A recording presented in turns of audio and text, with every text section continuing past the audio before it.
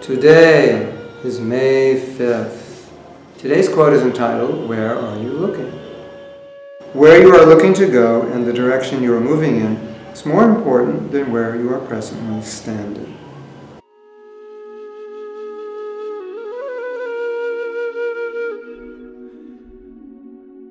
What does that mean?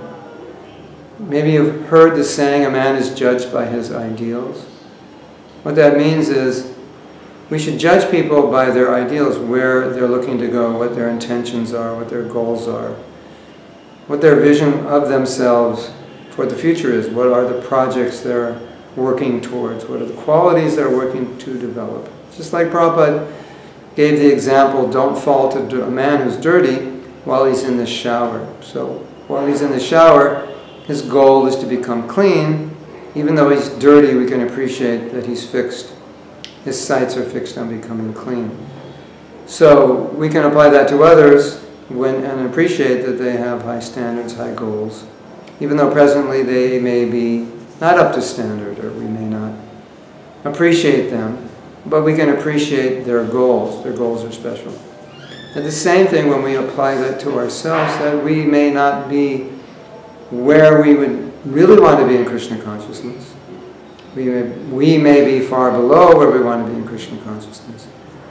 But where we're looking to go, that's what's important.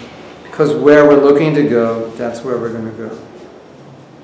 Are you looking to be Krishna conscious in this life? Or are you thinking that's not possible? If you're thinking that's not possible, you're not going to try to be Krishna conscious. So you might say, I'd like to be Krishna conscious, but are you looking to be Krishna conscious, or are you just hoping by some stroke of, stroke of luck I'll become Krishna conscious? So that's, that's not what we're talking about here. That, that is not what we mean. We mean by clearly where are you looking to go, what are you trying to achieve? And if what you're trying to achieve is Krishna conscious, that's wonderful, even if you're not so Krishna conscious at least you have that aspiration. And if you focus on that aspiration steadily with determination, you'll achieve it. You'll achieve your goals. We, we always end up at the place we're focused on going. So, that being true, why not focus on pure love of Krishna? Because if that's your focus, every day, day in, day out, that's what's going to happen.